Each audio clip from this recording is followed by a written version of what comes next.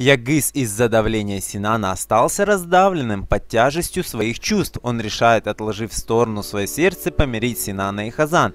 Однако не так просто это сделать, особенно после того, как с каждым днем пропасть между Хазан и Синаном все больше расширяется.